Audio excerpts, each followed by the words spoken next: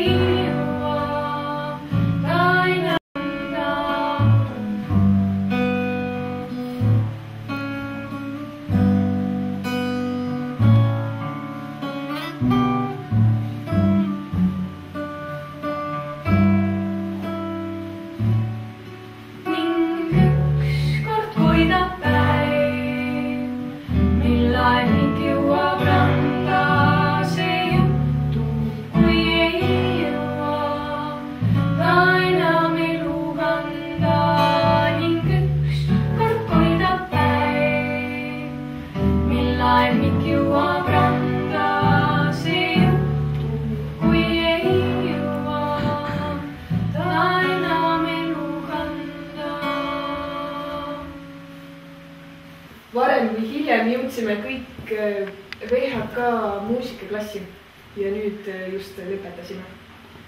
ja tuli selline asi välja.